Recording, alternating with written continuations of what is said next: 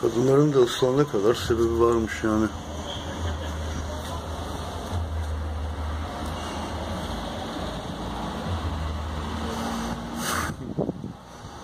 Canlarım benim ben şimdi anlıyorum sizin.